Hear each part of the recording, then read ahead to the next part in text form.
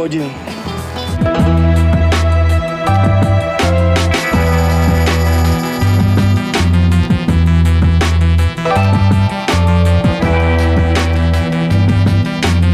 Сегодня она хиппи, завтра Тургеневская барышня.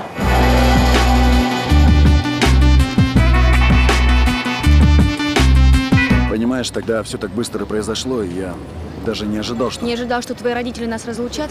Да при чем здесь родители? До сих пор помню глаза твоей мамы, которая кричала, я сделаю все, чтобы Коля тебя бросил.